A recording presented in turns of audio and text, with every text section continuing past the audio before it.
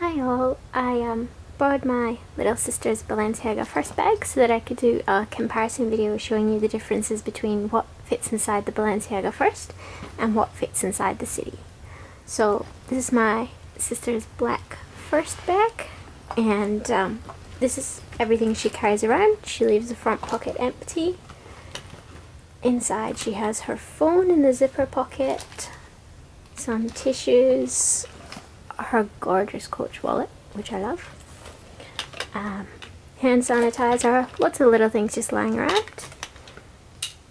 Sunnies, Paw we both love Paw Uh, Juicy Couture perfume, mirror, khakis, and a pen. And that's it. That's everything she carries inside of it. Um, she uses it as a day-to-day -day bag. Whereas for me the first is too small. So I use the City as my day-to-day -day bag.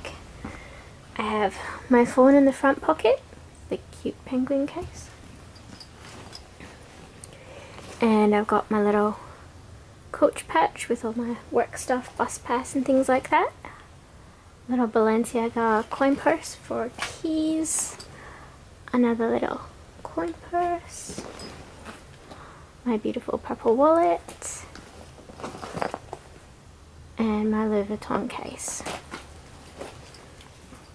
Um, the only other thing to point out is that the first actually fits really nicely right inside the city.